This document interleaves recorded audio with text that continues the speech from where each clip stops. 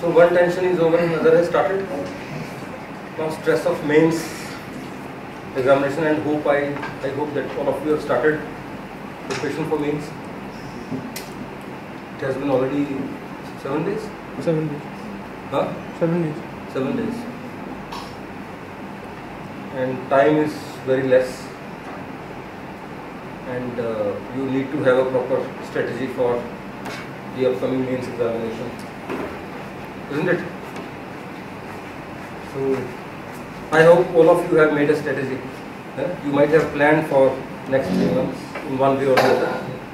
Whatever I am going to say, you can compare that thing and uh, you can maybe a little bit add few things into that. That may make a lot of difference in terms of the your own efficiency and your own achievement in mains. Right? So my whole discussion will be divided into two parts. First of all, what is the broad strategy? Now certain key things which you must remember while you prepare for mains because sometimes in stress of preparation because uh, see all of you will face this problem किसी का ऐसा होगा कि optional तैयार है तैयार नहीं है काम तैयार है या जीएस के ये सेक्शन तैयार है, वो तैयार नहीं। Sometimes we become biased and sometimes our preparation goes intend in to wrong direction we lose sense of balance तो वो बैलेंस लूज नहीं होगा, है ना? अगर आप थोड़ा सा क्वानाइज मैथड फॉलो करोगे। And secondly is the art of things answer I think की पॉइंट्स क्या ध्यान रखना है आपको while you are practising mains answer writing what you have to remember Now, what is the broad strategy first of all? Right? What I'm going to say is very uh, strange and very, uh, although it's uh, strange and it may seem strange to you. Huh? The first point which I'm going to say, as uh, as the uh, if we in tune with the latest trends of examination, I'm going to say one thing which uh, may seem strange to you. First thing is, you have to learn to believe in yourself. You have to learn to believe in yourself. While you are preparing in for mains, you one thing which you should take into account is that you have to believe in yourself. So what it means? What it means? Can anybody give me a clue? So because questions are so vague that uh, like one needs to have confidence in oneself so that even if you don't know anything you like you have to write something. Very right. See, if you actually see the past year papers, you, may see that in GS paper 1 or paper 2, out of 20 questions, either your eye may catch hold of those questions which are very straight, or your eye may catch hold of those questions which are vague. Now, which questions are going to make a difference in your selection? The questions which are clear or questions which are vague? Wait. Definitely, all of you will agree. The questions which are vague. जिसका कोई specific answer कहीं लिखा हुआ आपने नहीं पढ़ा so ultimately throughout your mains preparation from now onwards for next three months one thing which you have to inculcate in yourself is believing in yourself that if you have to if you have studied this thing okay this is what i want i don't have to look for more things because in practice the questions which are vague you cannot prepare for them it's only your own self belief which helps you to attempt that question in the final examination isn't it जैसे अगर मैं कहूँ question आपका एक question हम लेते हैं last year question आया सेफ़ पहला ही question safeguarding the Indian art heritage is the need of the movement comment now this question you cannot study anywhere it's totally vague question and this question carries 10 marks तो अब कोई answer नहीं है इसका. Only one thing can enable you to answer this question in the examination that is self belief कि इसमें कोई खास बात नहीं है. आई एम एजुकेटेड पर्सन मैंने साल तैयारी की है, दो साल तैयारी की है and I can do it and the same way while preparing you have to while you are studying something you have to believe in yourself कि मैंने इतना पढ़ लिया है ओके okay, इतना ही पढ़ना है बस मैंने। You are not going to be influenced by external stimulus कि ये भी पढ़ लूँ साथ में मैं ये भी पढ़ लूँ साथ में मैं ये भी पढ़ लूँ साथ में। कि ये पिछली बार क्वेश्चन आया था तो इसके हिसाब से मैं ये पढ़ लूँ। क्योंकि वेबसाइट्स जो है थ्रू आउट अगर आप देखो वो इस चीज़ को रिस्पॉन्ड करती हैं कि लास्ट ईयर ये पेपर आया उन्होंने बैक एंड खोलना अपना सी एम एस टक से उसमें टाइप कर देना कि भैया ये क्वेश्चन आया था तो ये किताब और पढ़ लो। भाई अगली बार फिर आएगा क्या वो? तो this result in huge extension in study material अब अभी भी देख लो कि इंडियन ये क्वेश्चन आया था तो कितनी वेबसाइट्स पे इंडियन आर्ट आर्ट हेरिटेज के ऊपर उन्होंने लाइनें लगा दी। पचास पचास पेज डाल दिया क्या ये क्वेश्चन दोबारा आएगा? तो you have to apply your own mind believe in yourself कि whatever I am doing I am the decision maker clear one thing now second you have to do your SWOT analysis. Instead of running around, instead of going see, haywire, you have to do your own strengths, weaknesses, opportunities, threat analysis. Strengths क्या है आपकी in terms of लिख लो general study sections कि कौन से sections आपके strong हैं? कि हाँ आपने किए हुए हैं। वीकनेसेस कौन से सेक्शंस आपके इग्नोर्ड हैं? सेक्शंस वीक अपॉर्चुनिटीज़ क्या अपॉर्चुनिटी है? What if you are studying in Chandigarh what we can offer you we are the opportunity for you is it what आप हमसे क्या चाहते हो? You have to decide that your opportunity is of menu हम बैठे हैं यहाँ पे। We have you how you are going to use us that is an opportunity before you provided you use it man and last thing is threat what is the possible threat you may face क्या external threat आप face कर सकते हो? May be आपकी job है, या आप कुछ और कर रहे हो, या आपने एच सी एस सी आपके लिए थ्रेट बन गया। Because number of students have come to me sir क्या करें? तो वो थ्रेट है बेसिकली एक outside threat H P S C ने पोज करी है कि भैया, अब तुम डिसाइड कर लो, तुमने आई का देना है या एच का देना है।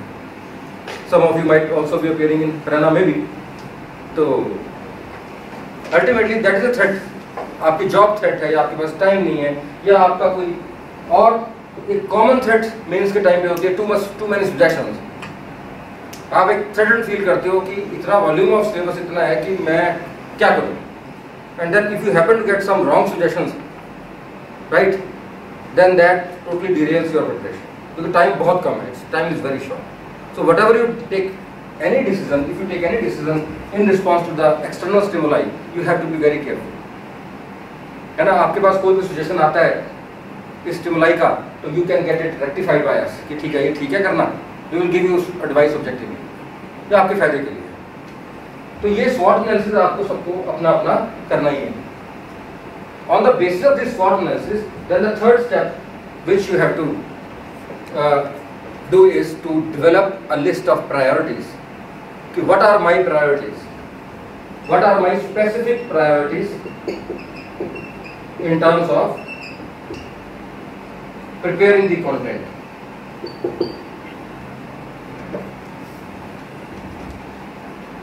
What are my specific priorities for preparing the content?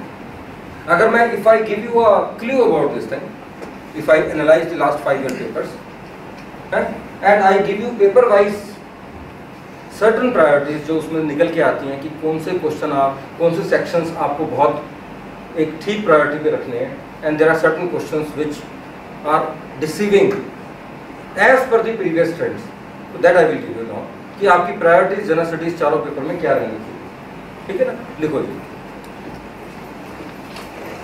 According to last five year trends देखो पेपर वन के अंदर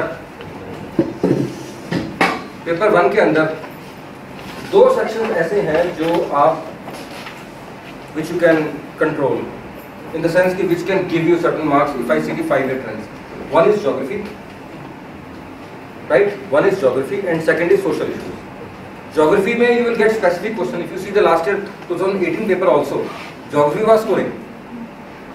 Geography के क्वेश्चन काफ़ी सारे मैनेजेबल थे। और सोशल इश्यूज़ जो है सोसाइटी इन इंडिया वाला पार्ट है, उसके क्वेश्चन हो ही जाते हैं। थोड़ा सा उसका अगर वैल्यूडेशन आप कर लो तो आप अच्छे आंसर लिख सकते हो।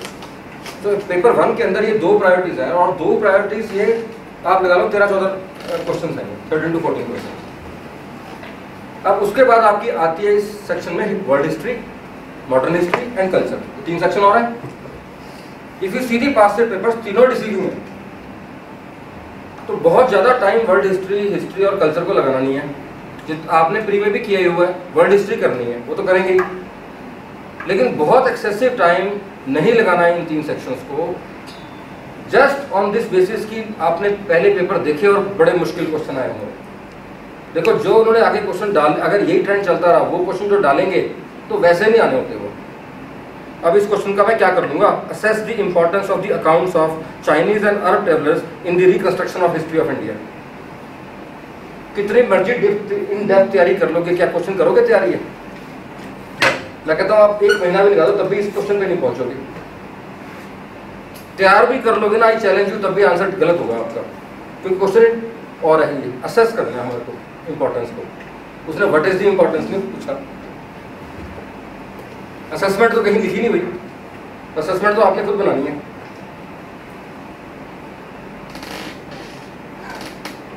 है? और जो आसान क्वेश्चन अगर आ गया तो कर ही देंगे। अभी तीन क्वेश्चन आए हुए हैं। समझ रही मेरी बात? तो ये दो है ज्योग्राफी और सोशल इश्यूज़ को आपने छोड़ना नहीं है, क्योंकि इसका इसके क्वेश्चन रो बिट के आप कर ही सकते हो।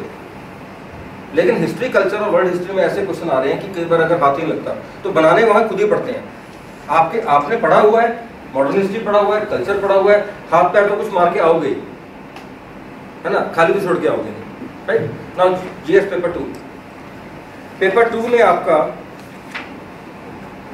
पॉलिटी एंड गवर्नेंस है और डिजास्टर मैनेजमेंट इसमें थोड़ी है। मतलब polity and governance and then I R है कि सिक्योरिटी है? I R I R polity governance and I polity governance and I R है। अब ये पूरा सेक्शन जो है ना ये जो पूरा आप अगर पेपर टू देखोगे तो पॉलिटिक्स सेक्शन की नेचर ऐसी आ रही है कि they are stressing more on issues in politics you have to stress on issues ये डायरेक्ट फैक्चुअल क्वेश्चन नहीं पूछ रहे कि what are the powers of governor what are the powers of president compare supreme court high court या what are the powers of CAG direct question नहीं पूछ रहे। In polity very significant trend which is common in last four years is they are asking issue based question आपको हर चीज़ में issue तैयार कर in the light of recent controversy regarding use of electronic voting machine whether NC NCSC can enforce the implementation of constitutional reservation आप समझ रहे अब वो ये नहीं पूछ रहा कि what are the powers of national commission for ST we are SC या critically examine the powers no issue पूछ रहा है जो लेटेस्ट चल रहा है। Then under what circumstances can the financial emergency be proclaimed by the president of India? What consequences follow when such a declaration remain in force? अब issue लगाया यहाँ पे। स्पेसिफिक पूछा है। स्पेसिफिक क्वेश्चन है। तो इस तरह से सारे क्वेश्चन अगर आप देखो what do you think the committees are considered to be useful for parliamentary work does discuss in this context the role of estimate committee context पूछा फिर वो इशू पकड़ लिया है estimate committee का so in regarding polity all the questions are manageable provided you prepare it intelligently intelligently कैसे अब आप पॉलिटी आपने प्री पॉइंट से कर रखी है सारी रजिस्टर आपका बना हुआ है आपने हर सेक्शन ऑफ़ जनरल स्टडीज़ में इश्यूज़ आइडेंटिफाई कर लेने हैं टोटल पैंतीस से चालीस इशू बनने हैं पॉलिटी के और हर बार क्वेश्चन वैसे ही आते हैं। या दाएँ पूछ लेंगे इससे या बाएँ पूछ लेंगे। अगर आपको वो इशू क्लियर है आपके दिमाग में, सपोज़ अगर 370 का आ जाए तो क्या क्वेश्चन आएगा?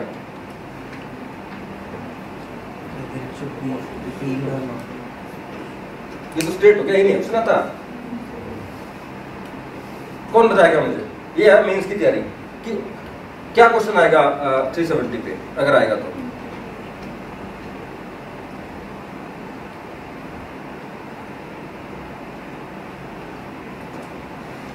Regionalism and integration and sed- uh, maybe sedition or uh, secession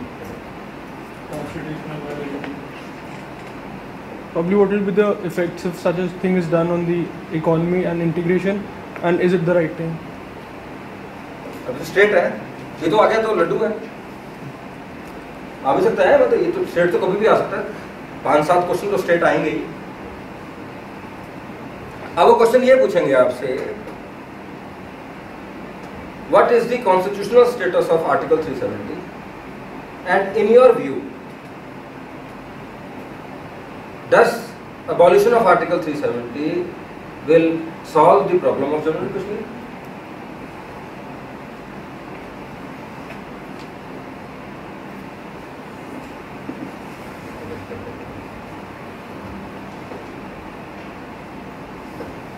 what is the constitutional position of article 370 पहले तो यही समझ नहीं आना क्वेश्चन का मतलब क्या है। चलो, कर लिया। उसके बाद ये पूछेंगे कि भैया, अगर ये आर्टिकल हटा लेते हैं हम then do you think that we can restore normalcy in Z K?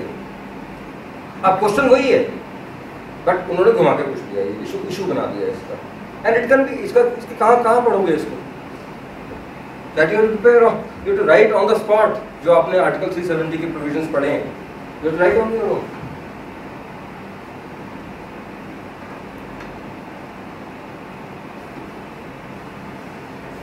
E-governance is not only about utilization of the power of new technology, but also much about critical importance of the use value of information. Explain. ये कहीं पढ़ोगे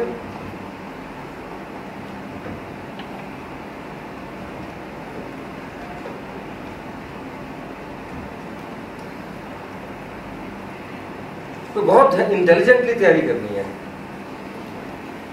Laxmikant, polity में उसका role खत्म, आपका role start you have to see provide you हम करेंगे आपके लिए but idea you should be oriented towards that thing कि ये नहीं कि बैठे रटे मारी जा रहे हो फंडामेंटल राइट के या फंडामेंटल ड्यूटीज़ के या ठीक है, वो तो कर ही लोगे यार। कोई इतनी बड़ी बात नहीं है। थोड़ा कम भी आता होगा डजेंट मैटर लिखा तो उतना जाता ही है, लेकिन टाइम हमें इशूज लगा। Same with governance governance poverty और गवर्नेंस पे इशू बेस्ड क्वेश्चन आते हैं। आप पिछले साल का निकाल के देखो, कुछ नहीं है डायरेक्ट लगता ही है क्वेश्चन लेकिन अगर क्वेश्चन डीपली पढ़ोगे तो आपको लगेगा तो कुछ और ही आंसर है इसका। एंड देन यू रियलाइज़ किया ढाई में से, ठीक है ना? कैसे नंबर नब्बे आ रहे हैं, अस्सी आ रहे हैं in spite of attempting all the question ठीक है ना? In last one year we have video recorded all 90 questions, I think, of 2018 उनके आंसर्स उनके इनपुट्स उनका एक आंसर बोर्ड तैयार किया है। We will be giving you link of that नब्बे के नब्बे question with video recording of each and every question की इसका आंसर क्या है। That will come lot of come handy to you हम आपको आगे सेंड करेंगे। और टॉप हमने उसको बोला टॉप सी ऑफ़ 2018 न्यूज़ पेपर राइट जो इंटरनेशनल रिलेशंस आपने तैयार करना है इसके लिए इट इज़ बहुत ज़्यादा इसके ऊपर टाइम लगाने की ज़रूरत नहीं है। Right the question again are journalistic and current oriented in nature अगर करंट का नहीं भी होगा तब भी उसकी बैकड्रॉप करंट पे ही आएगी। अगर वो कहते हैं India and USA are the two large democracies explain the basic tenets on which the two political systems are based ये तो कंपेरिजन वाला है। Uh, अब ये पिछली बार तो in what ways in what ways would the ongoing US Iran nuclear pact controversy affect the national interest of India how should India respond to it situation that question how should India respond to this situation अब just suggestive आ गया। कि आप लिखोगे कि क्या करना चाहिए इंडिया को?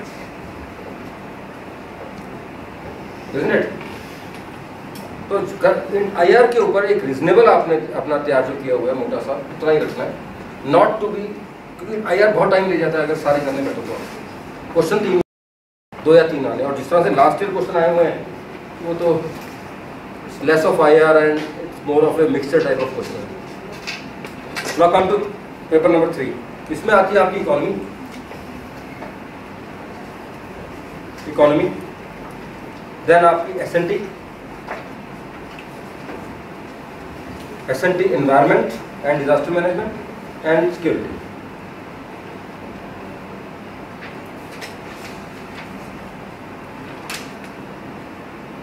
अब इसमें देखो इकोनॉमी इज़ प्रॉफिटेबल एक्टिविटी अगर आप इकोनॉमी अच्छे से करते हो तो आपको ये दस क्वेश्चन पे करके जाएगी।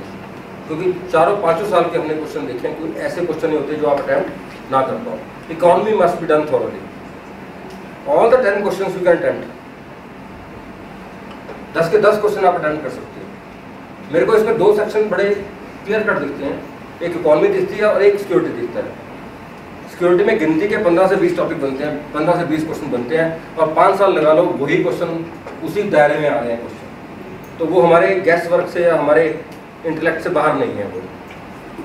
Third section is S N T S N T के अंदर थोड़ा सा हेवा है उनका रहा है, पिछले पाँच साल में अगर देखें तो क्वेश्चन ऊपर नीचे पूछे गए हैं। क्वेश्चन ऊपर नीचे पूछे गए थोड़ा सा कभी बहुत ही आर्बिट्री से पूछ लेते हैं, है ना? तो बहुत ज़्यादा टेनियर देख के अगर आप एस एन टी तैयार करने लगोगे देन थिंग्स में गो आउट ऑफ़ तो S N T regarding S N T you have to stick to the fundamentals कि यार ये बायोटेक्नोलॉजी है, ये स्पेस है, इसमें से मैंने ये तैयार करना, ये तैयार करना, ये तैयार करना। If you excessively go by टेनियर paper things में be difficult to control same is the case with environment in case of environment and SNT you go, you can go by root book. कि I have to cover this much only. Regarding economics and security, you can prepare it very properly. ये तेरह चौदह again जो question है, ये आपको at least बीस, पच्चीस नंबर का सकते पंद्रह नंबर का हैं।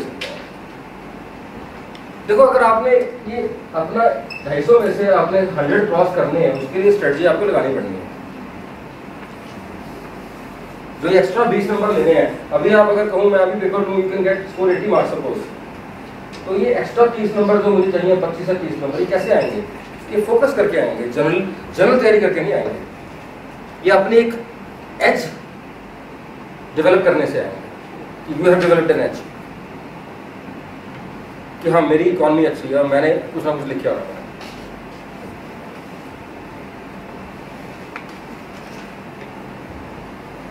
ठीक है? ना general studies paper four Now, general studies paper 4 should be reasonably prepared. It is paper of more of an answer style rather than content. Who agrees with me? Nobody. It's more less of content and more of answer style. This paper is more of more based on your intellect rather than information. Is it true? More based on your intellect rather than information. अगर आप पाँच साल के चार साल के, पाँच साल के पेपर देखोगे, ऐसे ऐसे वे क्वेश्चन पूछे गए हैं कि उसका कोई आंसर स्टैंडर्डाइज नहीं बनता। आपको खुद ही बनाना है। व्हाट हैप्पीनेस मीन्स टू फलाना दिमाग ये वो, है ना? तो ultimately this paper you should only prepare for ten to fifteen days दस दिन आपने तैयारी कर ली एथिक्स की more than enough don't excessively prepare this paper It is my experience for the last five years, the people who have excessively relied on या prepared ethics paper, their marks are reduced. मतलब मेरे पास दिखाने को कितने सारे cases हैं कि एक बच्चे के नब्बे नंबर आए एक पेपर में। तो अगली बार उसने बहुत अच्छे से पढ़ाई करी कि जी मेरे को 125 लेने हैं एथिक्स में पचहत्तर रह गए। जितने आपके एथिक्स में ब्रॉड आंसर होंगे ब्रॉड कवरिंग एवरीथिंग जनरल उतने ही आप नंबर ज़्यादा स्कोर करोगे। State the three basic values, universal in nature, in the context of civil services and bring out their importance.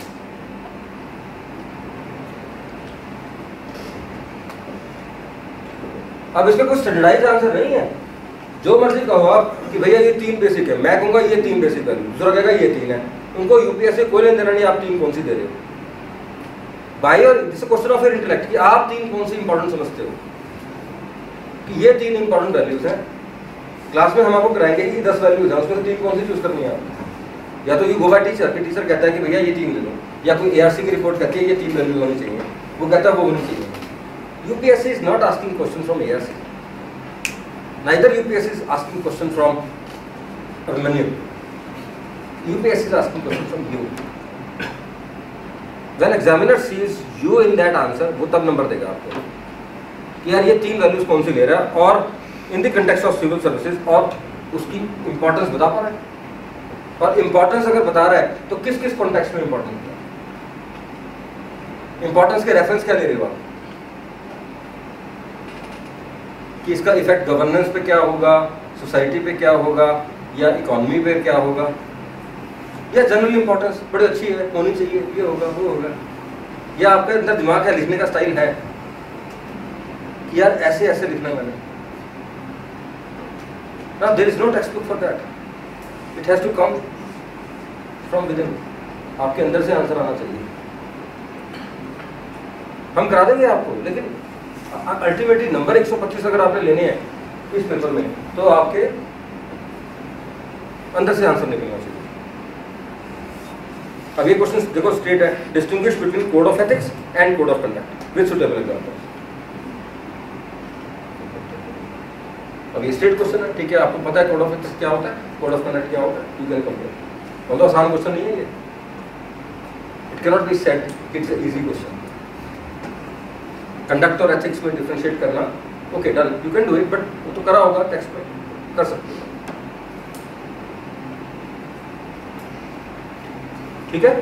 तो इस तरह से you have to rely on your own intelligence also intellect also and your own answer writing skill your own practice while you attempt this paper. Done? So जैसे ये theory वाले questions है so इसमें ethics में तो आपने कहा कि नीड्स लिटिल इन्फॉर्मेशन तो जैसे आई हैड दिस डाउट कि कोई भी टेक्स्ट नहीं है लाइक ये कोड इन एथिक्स ये वाला जो क्वेश्चन था। Because I was trying and searching for ये कि कि वही तो कर रहा कि लगता आसान है क्वेश्चन इतना आसान नहीं है ये मतलब you you not really be sure कि क्या लिखा है आपने मैं वही कह रहा हूँ जो प्रिवेलिंग टेस्ट है ना एथिक्स में वो हाईली डिसेप्टिव है अगर आप मार्केट में जो किताबें पढ़ी है ना एथिक्स की I don't agree with personally I have not been able to be convinced by those books in last five years और एविडेंस इसका ये है कि बच्चों के नंबर तो उतने आ ही तो ये एविडेंस सब्सटेंशिएट भी करता है कि वो किताबें यूपीएससी जो चाहती है उसके अकॉर्डिंग नहीं है। कोई किताब साइकोलॉजी की तरफ़ घुस जाती है कोई किताब फिलोसफी की तरफ़ घुस जाती है। In any in, in no book I have seen that writer has uh, tried to develop your intellect और स्किल भैया, आप ऊपर जाओ। You have a bird eye view of society as if you are on the top नीचे एक bureaucrat है, नीचे society है गवर्नमेंट है, लोग हैं प्राइवेट पब्लिक सब आपके सामने ऐसे फैला हुआ है। और आप ऊपर एक पंछी की तरह हवा में उड़ रहे हो and you are seeing everything and you are able to जज कि इससे इसको क्या नुकसान होगा, इससे इसको क्या फ़ायदा होगा, इसको ऐसा होगा, मैं क्या करना है? वो एक निष्पक्ष ऑब्जेक्टिव एथिकल पंछी की तरह उड़ रहे हो you are not you you are something else and you are flying in the sky देखो कैसे आंसर निकलते हैं।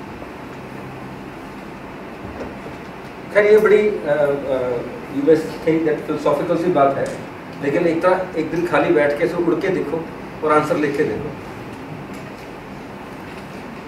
है ही नहीं टेक्स्ट है ही नहीं कोई। Ultimately the more you read about ethics the less marks you are you will get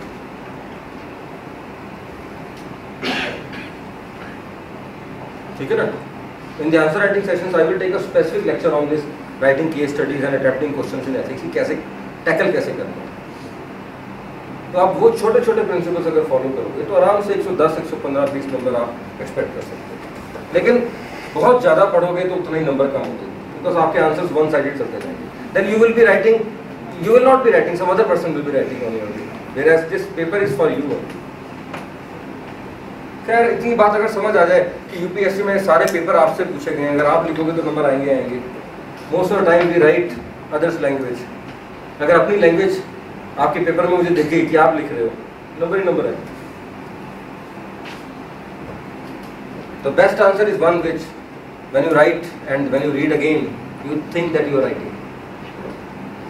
ये आपने लिखा है। किसी और का नहीं है आंसर मेरा आंसर मतलब आपका आंसर जो लिख रहा है उसका आंसर हाँ। जैसे you talking about this ethics strategy की गिव एट मैक्स 10 डेज़ तो मतलब जैसे अभी भी आई लैक दिस क्लैरिटी तो व्हाट डू यू सजेस्ट कि 10 दिन वी डेवलप और आंसर्स थिंकिंग अबाउट और जनरल आपको पढ़ना है। आंसर तो टेस्ट सीरीज़ होगी टेस्ट में आप क्वेश्चन आंसर प्रैक्टिस तो बहुत कर लोगे। है ना? क्वेश्चन आंसर तो प्रैक्टिस आप बहुत कर लोगे। इजंट इट बाकी जनरल पढ़ते रहोगे, दो घंटे रोज लगा लिया एक घंटा लगा दिया अल्टीमेटली जो बेसिक पढ़ना है, वो तो उतना तो पढ़ना ही है। जो स्टैटिक पार्ट है उसका कि नॉर्म्स क्या होती हैं वैल्यूज़ क्या होती हैं एथिक्स क्या होती हैं। वो मैं अज्यूम ये कर रहा हूँ कि आप पढ़ चुके हो।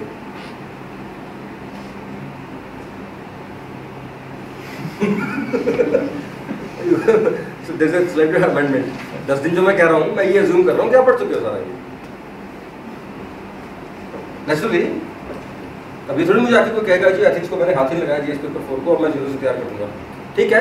अगर ऐसा है तो आप हमें कह सकते हो आके। Then we can suggest you some other method तो फिर कमरे के अंदर होगा। कल से क्लास शुरू हो गई उसकी सात से नहीं चलो क्लास तो अब उनके पास you have to very selected मैं आगे आऊँगा उस पर नेक्स्ट फोर्थ देखो फोर्थ एस्पेक्ट ये है कि you have to set targets for yourself in terms of marks although nothing can be criticised but you, your own targets have to be there. ठीक है? अब आप देखो 250 नंबर के सात पेपर है। ठीक? जीएस के आपके चार पेपर है ऑप्शनल के दो पेपर है और एक ऐसे है। तो have you set any target for yourself कि अगर जीएस के चार पेपर है तो चार में मेरा टारगेट क्या है कि मैंने कितने लेने हैं? यू में से कि सर ऐसा टारगेट करने से क्या होता है? No, but you, your mind only motivate, generalizes once you set targets for yourself. तो मैं आपको टारगेट दे रहा हूँ छोटे से है ना? रियलिस्टिक टारगेट होना चाहिए अनरियलिस्टिक नहीं। अगर मेरे इन चार पेपर्स में मैं साढ़े चार सौ का टारगेट लेके चल रहा हूँ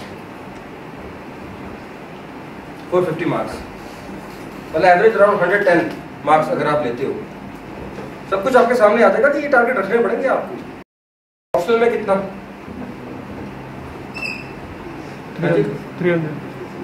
चलो। ये अपर लिमिट कह रहा हूँ मैं एक तरह से समझ लो।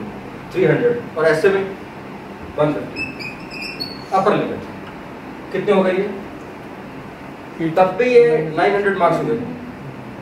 लास्ट ईयर मेरिट कितने में थी? Last year cut off are seven eighty seven eighty seven मतलब वन ट्वेंटी अब दी एवरेज और the last person to get in to services was having marks like nine ninety और nine ninety के करीब. मतलब वन थाउज़ेंड के करीब लगा नाइन नाइनटी नाइन एटी मतलब दो सौ नंबर गया था इंटरव्यू का तो आप लगाइए नाइन एटी के एटी टू था. The last person to enter in to list was nine eighty मतलब अगर आपके सेवन एटी सेवन मार्क्स आए हैं प्लस अगर 200 करोगे तो ये 987 बनते हैं। अगर इंटरव्यू में 200 नंबर आएँगे, तब जाके आपको अंदर घुसोगे, अगर आप बॉर्डर लाइन पे कॉल आइए। अगर मैं एक रिजनेबल लगा लूँ कि इंटरव्यू में 160 नंबर या 150 नंबर, जो प्रडिक्टेबल है, तब भी कितने बनते कितना आपको आना चाहिए? आपको 840 के करीब आपके मार्क्स आने चाहिए।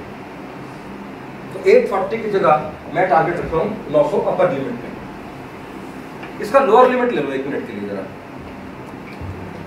कहा लोग फंसते हैं? कहा जाता four hundred two fifty one twenty कितने हो गए ये? छह सौ पचास और बीस? सात सौ सत्तर। सात सौ सात सौ सत्तर। वही कट ऑफ़ वाली। कि फिर बीस दस नंबर यहाँ ज़्यादा आ गए दस नंबर यहाँ कम आ गए या यहाँ ज़्यादा आ गए वही border line case this is the border line case and this is your thing which you have to achieve.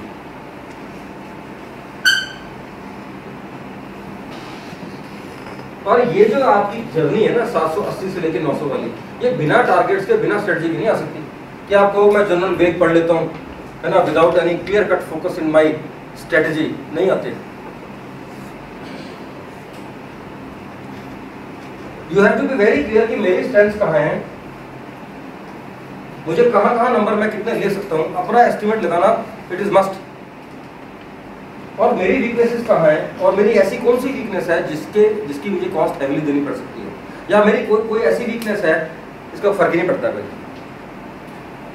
छोड़ो। उससे नंबरों में फ़र्क एक्चुअली है आपकी वीकनेस लेकिन नंबर्स में कोई फ़र्क नहीं पड़ता। एक आपकी ऐसी वीकनेस है जो क्लब करनी ज़रूरी है, नहीं तो पंगा पड़ जाएगा। एक आपकी स्ट्रेंथ है कि ठीक है स्ट्रेंथ है। ज़्यादा इसको और डेवलप करने की ज़रूरत नहीं है। एक आपकी स्ट्रेंथ ऐसी है इसको अगर ट्वेंटी परसेंट और काम कर लो तो आपको दस नंबर और दे देगी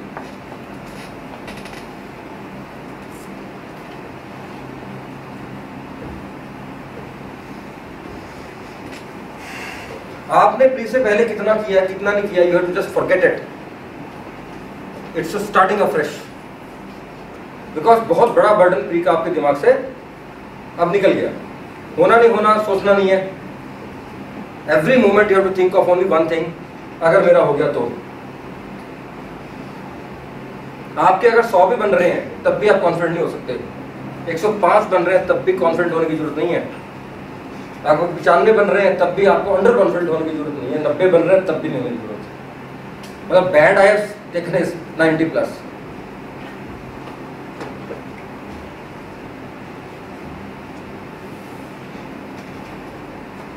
आपके 85 बन रहे हैं। नहीं होने वाला। अगले साल।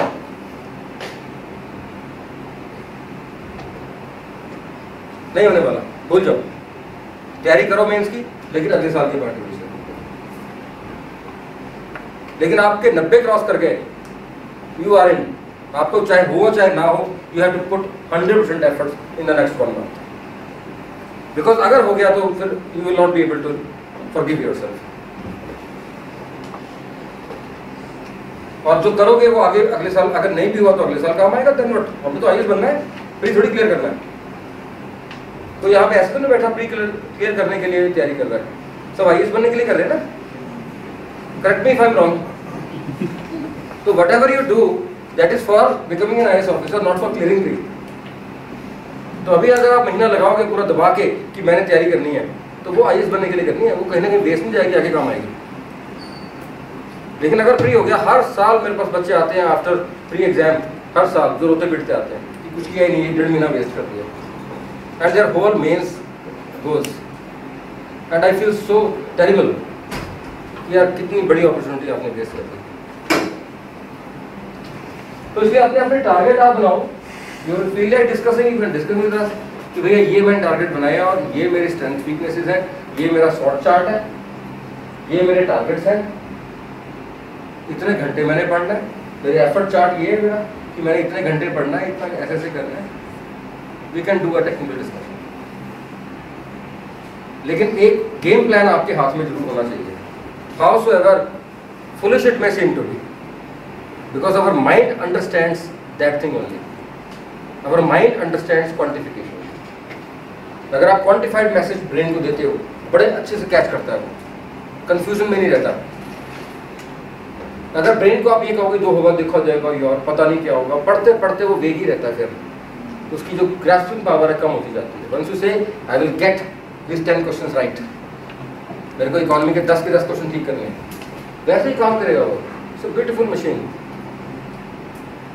I practise it hundred times और आप देखोगे पेपर में क्वेश्चन करके आओगे, नहीं भी आता होगा तो।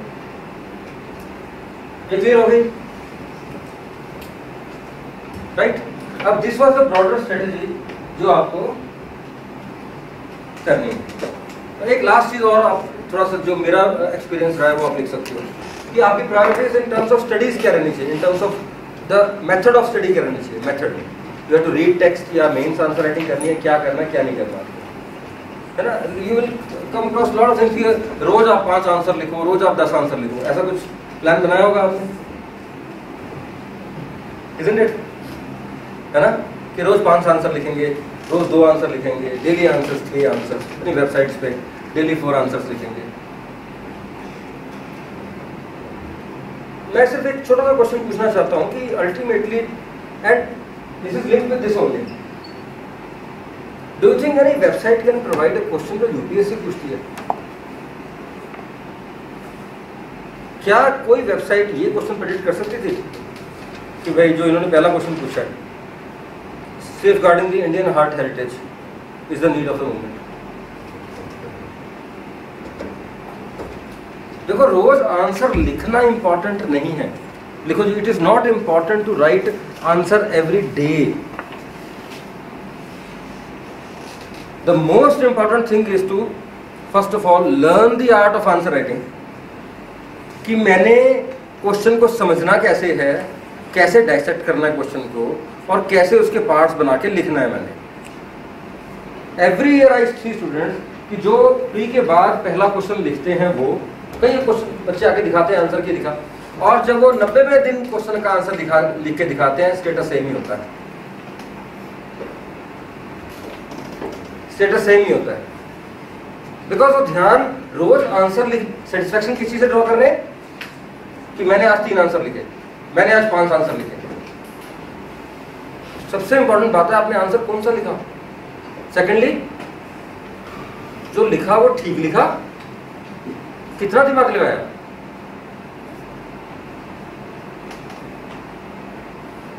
ये हम सोचते हैं कई बार कई बार नहीं सोचते। अब एक बच्चा मेरे पास है माई वेरी फेवरेट स्टूडेंट घर से आंसर लिख के ला रहा है, क्या बढ़िया। मैं उसको दस में से छह दे रहा हूँ, सात दे रहा हूँ। वेरी गुड खुश यहाँ बिठा दिया कि लिख पाँच क्वेश्चन खत्म। सारी इमेजिनेशन सब खत्म। क्योंकि वो जो घर से क्वेश्चन लिख के ला रहा था, दो घंटे में लिख के ला रहा था, बैठ बैठ के सोच सोच के। यहाँ पंद्रह मिनट में, दस मिनट में लिखना पड़ गया। माइंड ही गुल can you understand this thing such a drastic variation घर से लिख रहा है, दस मिनट से सात ले रहा है। और जब यहाँ की रेखा दसवें से दो।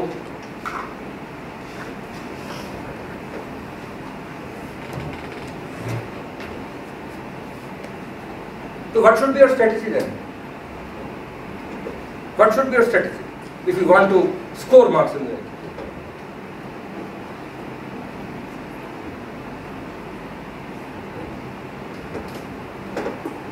before the result of pre huh, I will give you a quantized version. Before the result of the pre, one first thing you have to do is learn the art of means answer writing. Concentrate on understanding directives कि directives का मतलब क्या है question को कैसे समझना है bifurcate करना है right then have a quantize version की मैंने हर सेक्शन जीएस पेपर वन है अगर उसके मैंने एक महीने में एक महीने में दस क्वेश्चन करने हैं बस ज्योग्राफी के पाँच क्वेश्चन लिख के देखने जो टेढ़े मेढ़े हैं। पाँच क्वेश्चन हिस्ट्री के लिख के देखने history culture and world history और दो क्वेश्चन तीन क्वेश्चन सोशल इश्यूज़ के लिख के देखने दस इंटू चार, चालीस क्वेश्चन मतलब पचास लगा लो। पचास क्वेश्चन मैंने एक महीने में करने हैं। Fifty question I will attempt in one month plus fully concentrating on how to write answer और वो पचास क्वेश्चन कौन से होंगे? वो पचास क्वेश्चन होंगे only from the previous year papers no question has to be taken from outside और वो 50 क्वेश्चनों में से कौन से क्वेश्चन उन प्रीवियस ईयर में से भी कौन से क्वेश्चन लोगे? तो question which are compound in nature जो बिल्कुल डायरेक्ट है, वो नहीं उठाओगे।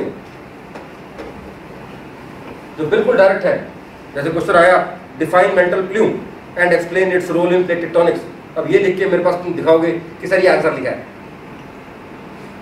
मैं कहूँगा बेटा, मैंने चेक करना ये आई डोंट हैव टाइम बहुत बिज़ी है।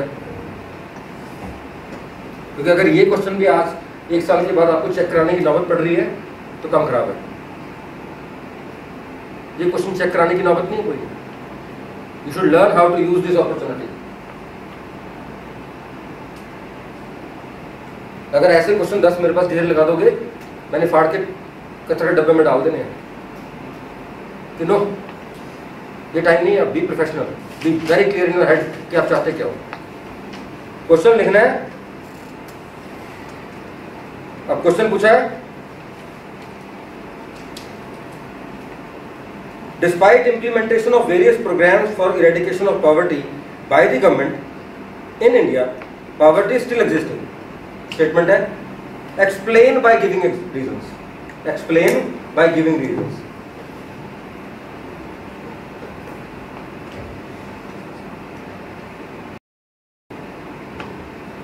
Explain, दो क्वेश्चन है, ये एक्सप्लेन बाय गिविंग रीजंस अब इसमें कुछ बात है। ये क्वेश्चन ये नहीं पूछा उसने कि कौन कौन सी स्ट्रेटजीज है पावर्टी एलिवेशन के लिए। उसने कहा कि डिस्पाइट बहुत सारे प्रोग्राम हैं, छोड़ो उसको। पावर्टी स्टिल एग्जिस्ट अब ये बड़ा टेक्निकल इशू बेस्ड क्वेश्चन है। इसमें नंबर लेने को जितने मर्ज़ी ले लो और कहीं आपको लिखा हुआ नहीं मिलेगा सच आपको आप यार आपसे ज़्यादा कौन जानता है? साल दो साल हो गया आपको तैयारी करते। कि पावर्टी स्टिल क्यों एग्जिस्ट कर रही है इतने सारे प्रोग्राम होने की वजह से? क्या रीजन हो सकते हैं इसके? हैं? तो सोचा किसी ने? एक सेंटेंस बोलो कोई. लैक ऑफ़ कैपेसिटी बिल्डिंग नहीं कैपेसिटी बिल्डिंग के लिए भी बहुत सारे प्रोग्राम है भाई। वो सक्सेसफुल क्यों नहीं है? Although the policies may be well India is a masterly country. In which we have programmed for each and every damn thing. वो तो सर ये बैठे हैं सर पब्लिक एडमिनिस्ट्रेशन वाले। कोई छोड़ा हमने एरिया प्रोग्राम का? हमने कुछ नहीं छोड़ा।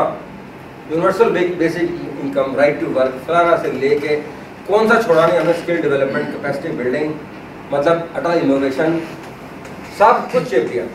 हेल्थ से सोशल से एजुकेशन से इकोनॉमिक से कौन सा छोड़ा है?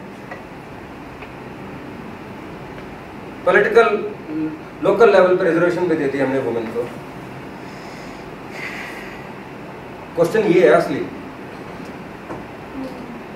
And you have to answer this question कोई दूसरा नहीं करेगा answer provided you feel that question and write accordingly कुछ भी नहीं है क्वेश्चन में ये।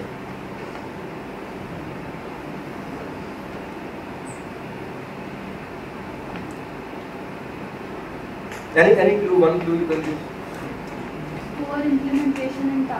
ये तो है स्टैंडर्डाइज ये कहीं ना कहीं प्रोग्राम तो बहुत बन गए हैं इम्प्लीमेंटेशन इशूज है हॉरिजॉन्टल इंटीग्रेशन इशूज है जैसे अभी मेरे पास मेरे दोस्त आए हुए थे we prepare together is into civil services तो ही is basically into fertiliser ministry at this moment in on a very key position कहता कि अब फर्टिलाइज़र मिनिस्ट्री है मेरी, अब एग्रीकल्चर पार्टी है मेरा ट्रांसपोर्ट पार्टी है।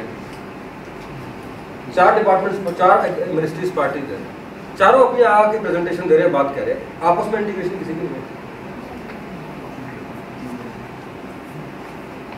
एग्रीकल्चर मिनिस्ट्री कर रही है काम। मिनिस्ट्री ऑफ़ वाटर रिसोर्सेज है। वो अपना बैंड बजा रही है। पंजाब में कितना वाटर टेबल रिसीव कर रहा है? इट्स अलार्मिंग सिचुएशन एक गाँव में अगर 100 नलके होते थे एक टाइम पे, आज एक नहीं चल रहा। एक नहीं चल रहा आज। हाँ जी। सौ में से दस चल रहे होंगे अब मुश्किल से। और दस जो चल भी रहे हैं, उसका पीने पानी वाले होते हैं पिए होना पानी अब इसका।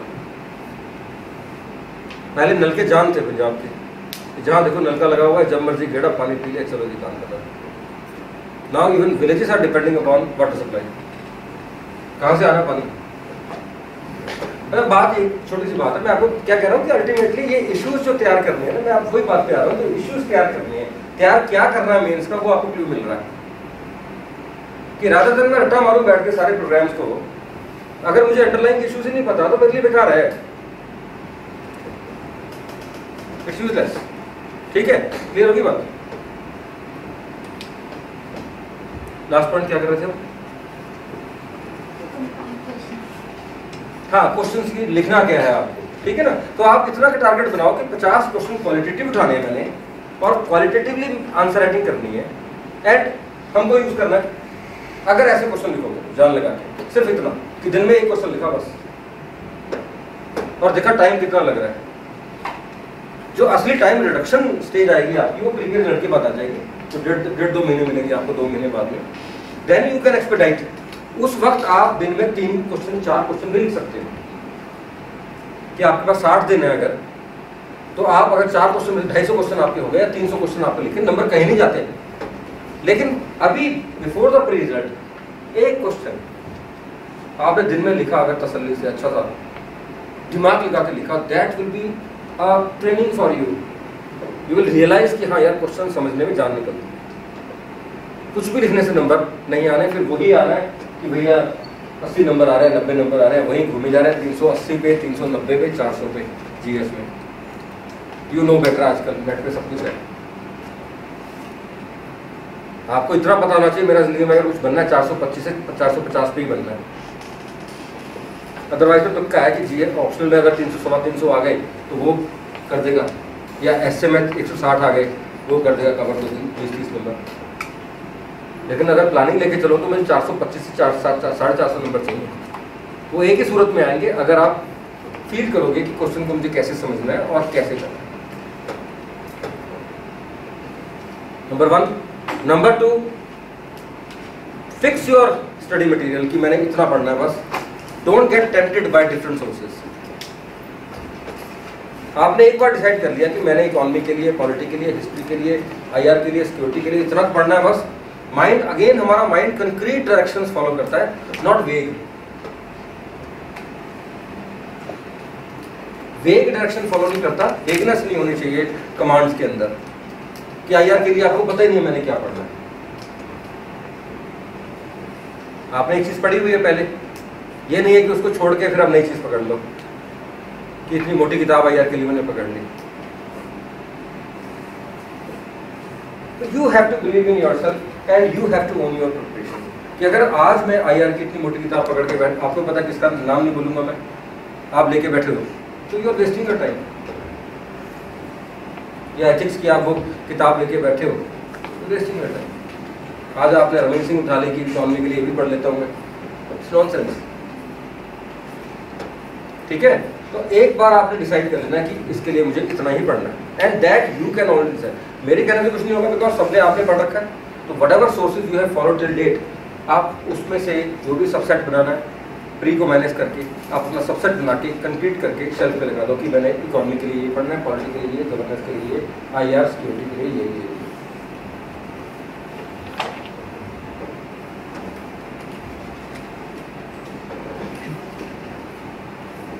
क्लियर होगी बात?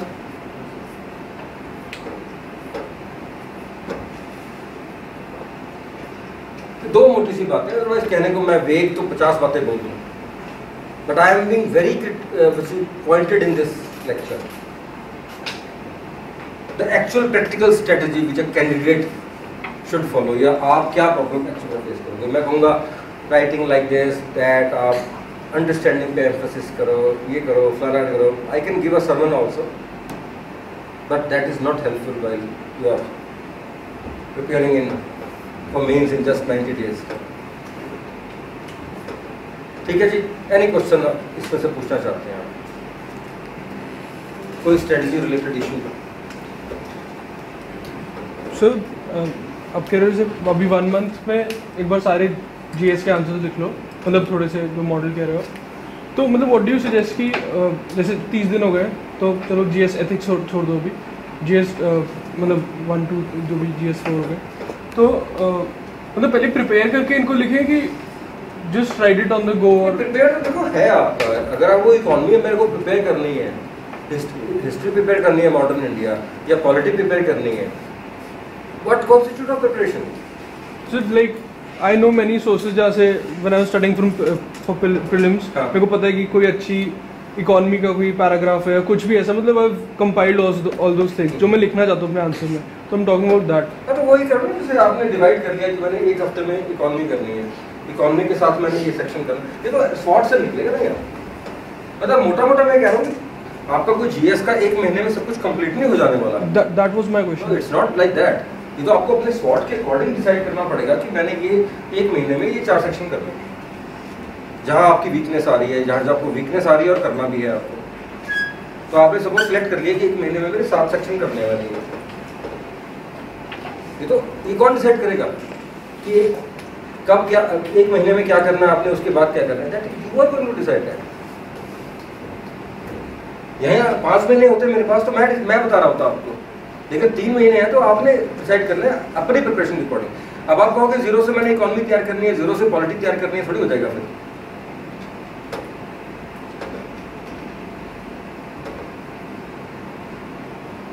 एक टाइम पे हम 90 डेज़ मेंस कोर्स करते होते थे। I remember in 24 and 36 when we were there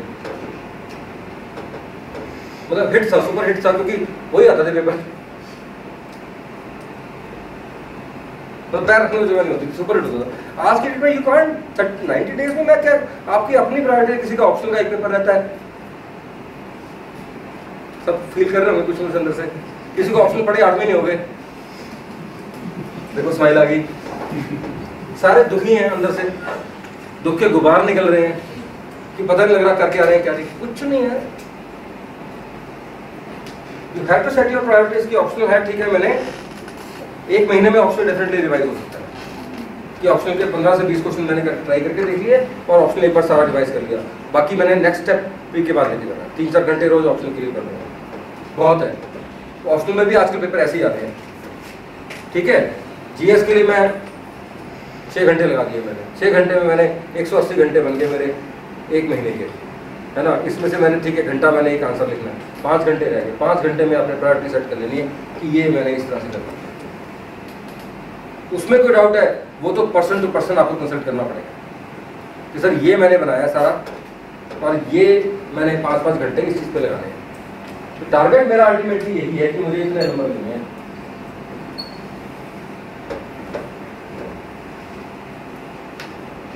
That you have to decide, that I can't decide for you depending upon your present status. भी मैंने ये टारगेट दिया।